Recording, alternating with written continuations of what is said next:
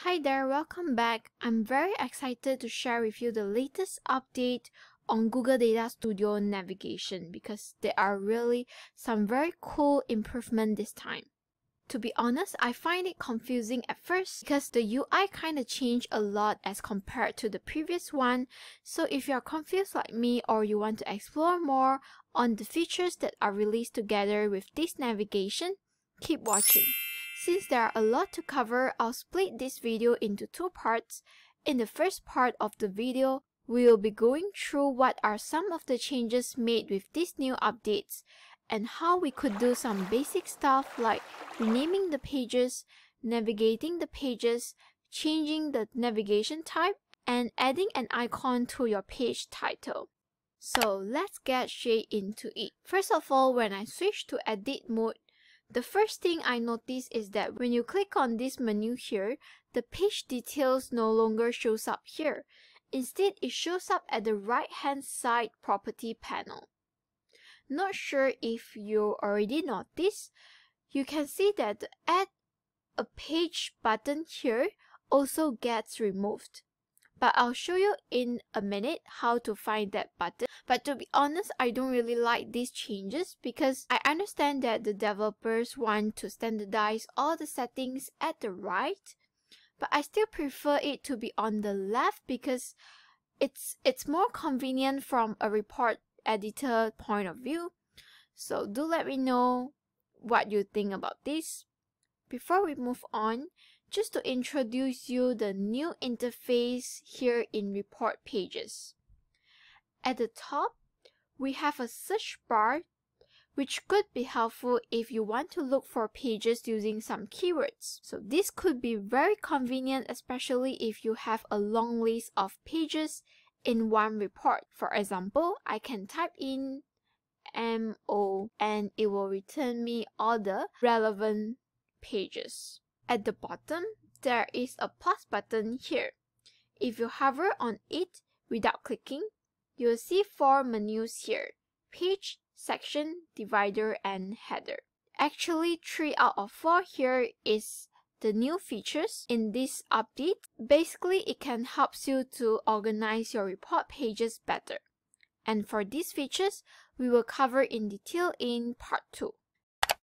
Back to the topic earlier where we mentioned that the button of add a report it's missing because now it's already moved to this property panel. You can add a page by clicking on this button straight away or you can hover on it and click on page.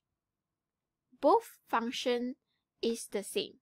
Now with the new changes, when you want to rename the page, you can click on the three dots here and click on rename and start typing. But the fastest way would be to double click on the text and start editing right away. Say if you want to switch to other pages, you can just click on the title over here to navigate. The setting here is that now the usual UI on the top left can only be used to navigate to next page or the previous page because the drop down menu has been removed. So now we have more clicks to navigate to other pages. For page reordering, we can access the function via the three dots here. For example, I want to send this page to the bottom. I can click on move to bottom and it will now be moved to the last page. If I want this page to be appear as the first page, I can simply select move to top. Or if you want it to be in the next page, you can click on move down or move up. But personally, I prefer to use drag and drop method, which is very easy. You can just hover on the title and then you can see these three dots, uh, sorry, six dots here. And you can start dragging it and drop it at the position that you want. Now, Assuming that we have done with the page navigation settings, now we can close the panel by clicking on the cross button on the top right. As usual, if you want to change the navigation type, you can click on layout and look for navigation type. Then choose either left, tab, top left or hidden based on your preference. I actually kinda hope that they moved this to the report pages settings earlier so it's easier for us to find the feature. But I guess we just have to wait patiently for the update. By the way, if in case you want to learn which navigation type to choose for a report, I actually have a more detailed video that you could watch next I'll put the link in the description for you. Finally, we have reached the highlight of the day, which is to add an icon for your page title. So, to access that, click on this manage pages and then we can select this page and click on the three dots here. And here you can see this select icon. Just hit on this and this window will pop up and here there's a huge collection of icons for you to choose. You could scroll down to browse the icons and select the ones that you like. There's also a category filter here that you can use to filter out. For example, you can choose maps and you can see these icons that related to maps or you can choose social or you can even choose action that there's a lot of icons for you to use. So for example, now I'm on my home page, so I think I'll select this home icon. And once you decide, just click apply and now you can see that icon appearing here.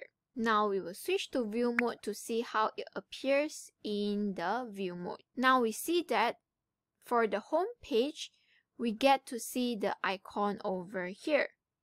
But I noticed because we have yet to select icons for other pages, which makes this navigation kinda ugly.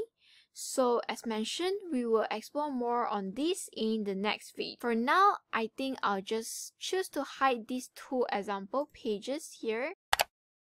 So to do that, just click on the three dots again and hide it. For this page, I think I'm going to remove it. If you want to find out more about sections and how you can organize your pages, remember to turn on your notification bell if you wish to get notified when part 2 video is up. As usual, if you want to support me, you could subscribe, share, comment, like or coffee me. I'll see you next time. Bye bye.